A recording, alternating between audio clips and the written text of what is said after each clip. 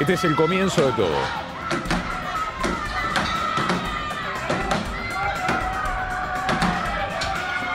Un grupo de mapuches ataca así con palos a la policía a la salida del juzgado.